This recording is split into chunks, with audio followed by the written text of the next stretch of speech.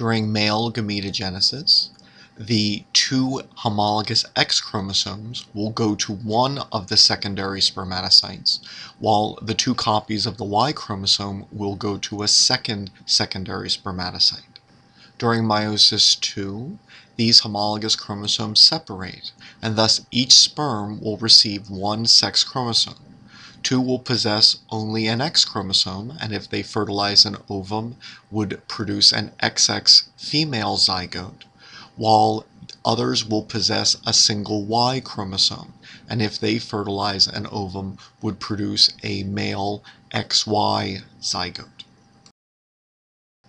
If a non-disjunction occurs during spermatogenesis where the chromosomes do not assort properly, if this occurs during meiosis I during spermatogenesis, then all four gametes will possess abnormal numbers of chromosomes. Half will not possess sex chromosomes at all, while half would possess both an X and a Y.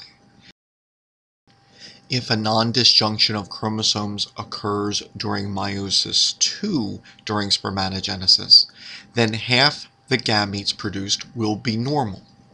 The other half will possess an abnormal number of chromosomes. One of these abnormal gametes will possess no sex chromosomes at all, while the other will possess two, in this case two X chromosomes, although it could also be two Y chromosomes in other cases.